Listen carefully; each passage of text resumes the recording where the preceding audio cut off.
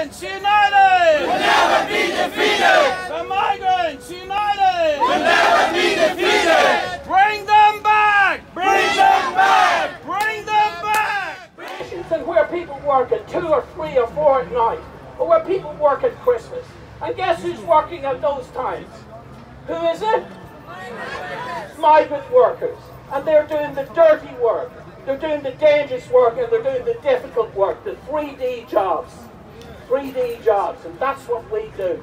And the unions have been there, but we know that migrants come here and give to this country.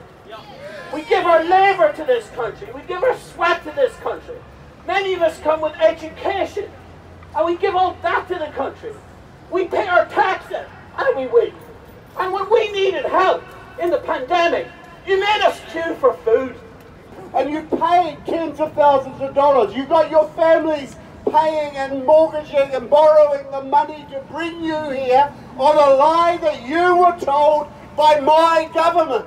A lie you were told by the Government Department, Immigration New Zealand, that encouraged you to come here. It is to my shame that, we have created this situation and allowed this situation to be where 15% of all workers in New Zealand were on a temporary visa and they had no hope of transitioning to residency. Bring them back!